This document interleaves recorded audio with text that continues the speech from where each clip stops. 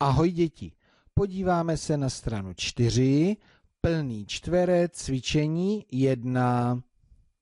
Přečteme si zadání. Prohlížej a napiš. Když to tak prohlížím, tak mně přijde, jako kdyby tady skákaly žáby.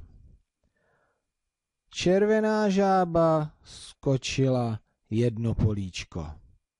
Tady je to napsané. A potom přišla modrá žába a přiskočila ještě jeden, dva, tři políčka.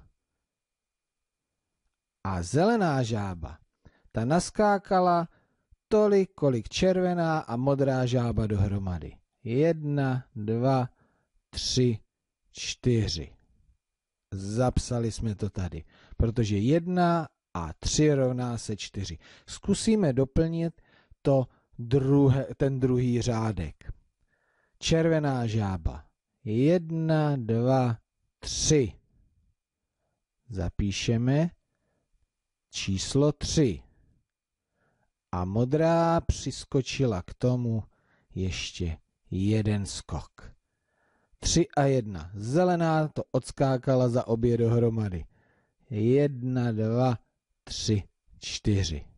Výborně. Tři a jedna rovná se čtyři. Tak, teď už si to jenom prohlédnu a skoky kreslit nebudu. Červená žába, dvě. Modrá žába, zase dva skoky k tomu. A zelená žába, tolik, kolik obě dvě dohromady.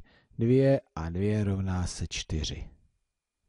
Jsme si ukázali žabí závody na číselné oce. Docela zajímavé, ne?